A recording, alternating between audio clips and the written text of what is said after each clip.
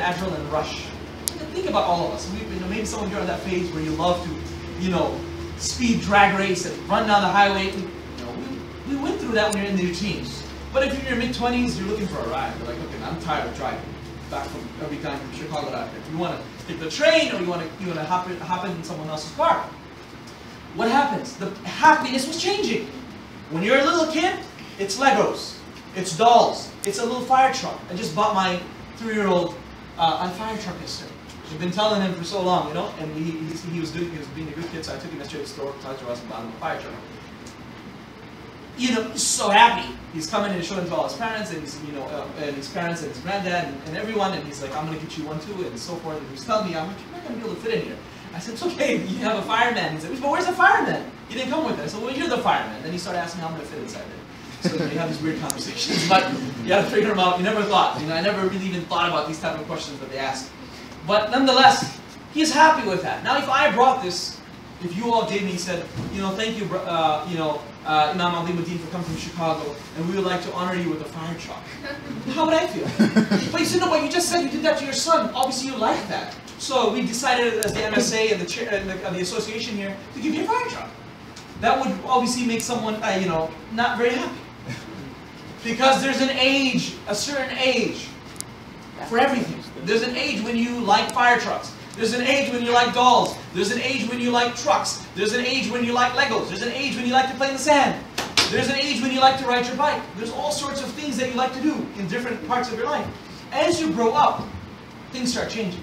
It's now about you know, getting the hairstyles, getting the right shoes, getting the right pair of jeans, being in with the crowd. Correct? As you move forward, maybe it's for some trying to be doing real good in school.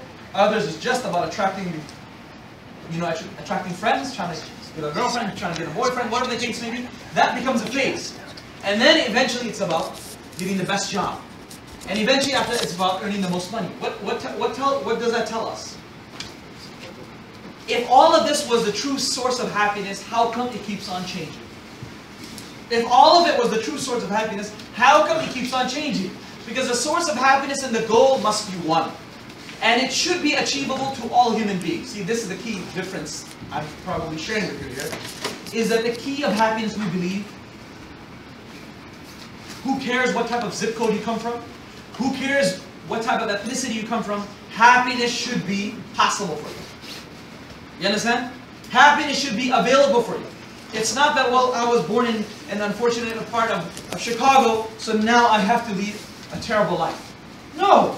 Happiness can't be, that's not fair. Happiness should be something that is readily available to everyone. So you have to change the definition of happiness then. And happiness can't be changing in your life every one year. That's, that makes no sense either. Goalposts don't change. Every one mile, you don't keep on changing your GPS. Yes, the milestones change. You pass different exits, different gas stations, but the destination change remains the one and the same. So, happiness has to remain the same. What is happiness? It is about being connected to a higher being. This is what we do. That the soul, the happiness comes from the soul being connected to God Almighty.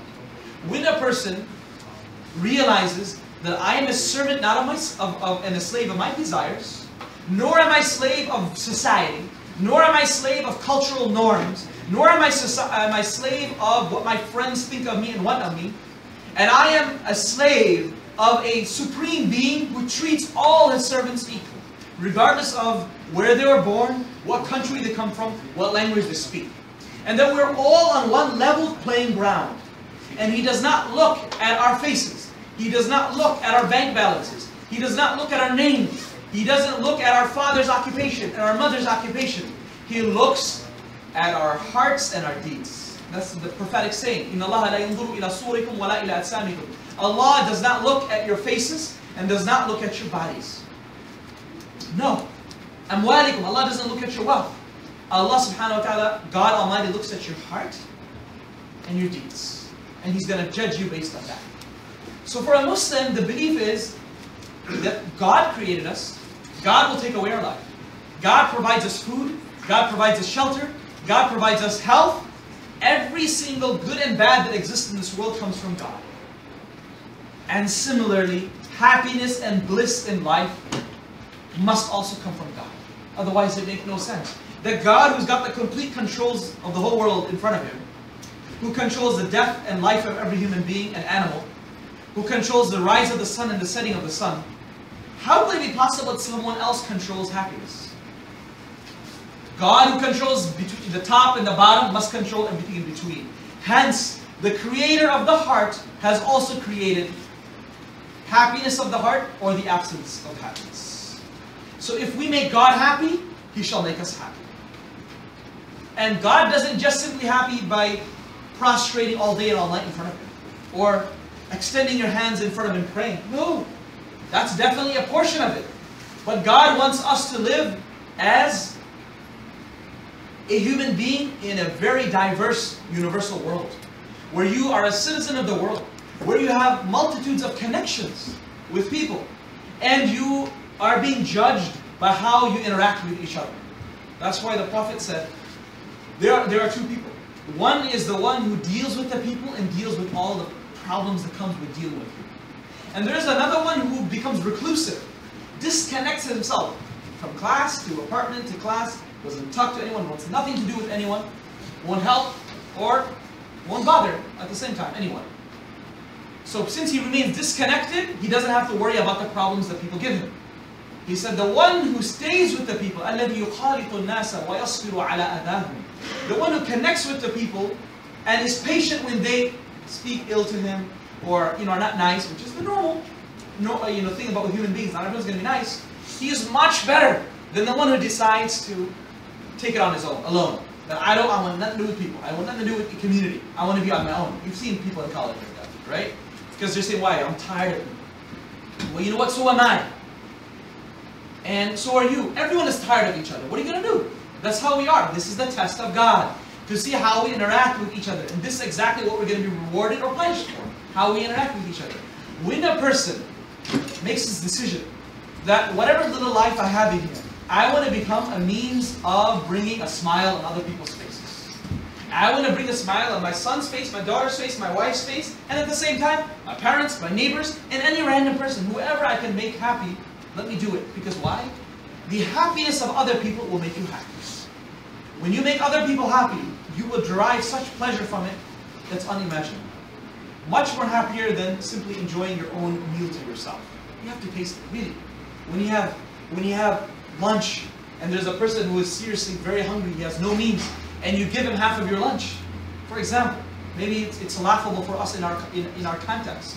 But really, if you ever had the opportunity of doing it, that level of happiness that you gain when you see that person, you know, hungrily going through your lunch as after you offer it to him and thanking you for that, it's unimaginable. You could skip that meal and you'll still be more hungry. I mean, sorry, you'll be still more satiated than having eaten that meal. Looking at the face of the person who was hungry and you helped them out. Those are things that the world is forgetting. Everyone's forgetting. That happiness does not come simply by fulfilling our lustful desires and needs. Eventually, like that person said, you will hit rock bottom, or you want to flip side it, you'll get to the top of it, you fulfilled every lust under the world, but you'll still say, hal min mazid, is there more? Is there more? And they'll say, no, that's it. That's the strongest, that's the worst, that's the baddest, whatever you want to call it. That's it. There's, there's nothing, uh, you know, more than that. And unfortunately, many people can't turn back when they arrive at that. It's too late. Everyone, by the time they arrive at that level, everyone has given up on them. Everyone has ditched them. May God protect any of us from falling to such uh, you know, depths and to such lows. When a person gets incarcerated many times, that's when, you know, for him, some, for some, that's not even rock bottom, unfortunately. Unfortunately. Then they, they do second offenses and third and fourth. But for some, that becomes rock bottom and they start thinking, and they start realizing that what's going on? Where have I headed? What I thought stealing was going to give me happiness, it obviously didn't. Forget about the hereafter, it's already giving me a miserable life right now. I thought I thought XYZ would give me happiness. all this is not, I'm stuck here. Forget about the life hereafter, I'm already in a messed up situation. So before that time comes upon any of us, not, I'm not saying incarceration, but anything, where we hit rock bottom, we have to start addressing these questions with ourselves. Am I currently happy? Do I have a mission in life? Do I have a goal in life? Do I have a supreme goal? Not just a milestone, but something that I'm headed at. If it is, we should Write it down. Look at it. And then see why did we come with this goal? Because my dad said, my mom said, my brother said, my cousin said, my counselor said. That's not good enough. There's got to be something more, deeper than that. It's got to be something that you've studied, you've thought about. Really, I'm so serious. All of us are just thinking for the next one year. It's this uh, uh, this degree. I'm just every one of us is just thinking for the next two years, next year, next year. Beyond that, we have to start thinking. So the first thing is connecting with the Supreme Being. For Muslims, the perspective is الَّذِينَ آمَنُوا وَتَطْمَئِنُّ قُلُوبُهُم بِذِكْرِ اللَّهِ Those who believe and their hearts are connected with God, وَذَكَرُوا اللَّهِ They remember Allah. Allah will most definitely give them peace. You have the meditations. You have behind the greatness of Allah. That's why as Muslims we're taught to pray five times a day. Regardless of how busy your schedule is. Truck driver, dentist, doctor, surgeon, or a student at university. We ought to pray five times a day. Whether it's behind the bleachers, behind the stairwell, in the back of a classroom, in a Walmart parking lot, wherever it is. We take time out five times a day. We kneel, and it takes five, ten minutes depending, you know, five to ten minutes at least. And we wash up, wash up from everything. Let that stress come out. And turn to prayer, put our, our forehead to the ground, and remind ourselves that that lab was stressful, that meeting was stressful, that surgery was stressful, that closing was stressful. But you know what? This is an escape. That all of that is the temporal, temporal worldly life. That's not my mission. If things go wrong, so what? Let me look forward to another happy day. As long as I am pleasing my Creator and I'm realizing that I'm collecting points to cash out in the, in the hereafter, however bad the deal went, however bad the course went, it can't be that bad. As long as I am in the right direction, I am fulfilling the rights of God and fulfilling the rights of fellow human beings. Two things, very important. That is an escape five times a day. And not only is it an escape, it is a reality check. If you just prostrate in front of God, you better not cheat on your exam. If you just prostrate in front of God, you better not cheat the next customer comes into your store. I share a story with you. When I was going to Kankakee Community College, the only visible Muslim in the whole campus, you can imagine, Kankakee. I had a, a, classmate come up to me one day and said, are you a Muslim? I said, yes. Well, she said, you know, we just started talking on different things, and then random, I, I, I said, my father uh, is a physician here for like 40 years in Kankakee County. He was the first oncologist to come to the county in 1980. So um, she randomly made us comment, and she said, if I were to ever go to a physician, if I never, if I ever need to go to a physician, I'd definitely go to a Muslim physician. And I was like, well, thanks for flattering me, but why would you say that? Uh, and, and she said, well, I know something about Islam. I said, what do you know? She said, there was an Egyptian person who had come uh, through this website, this, you know, that allows people to connect online. Uh, people who don't who don't want to rent an apartment or I'm sorry, rent a hotel or what's that called? Couch surfing. Couch surfing. There you go. So an Egyptian exchange student or something like that came for couch surfing. On couch surfing came to her house in Kankakee, whatever he was doing. And she said he played with the soccer, volleyball, uh, you know, joined the barbecues, and went wherever we went. But what was amazing, because we're a Christian family, what was amazing, regardless of what our activity was, he always took time out throughout the day and said, sorry, give me five minutes and we'll go to the side and pray.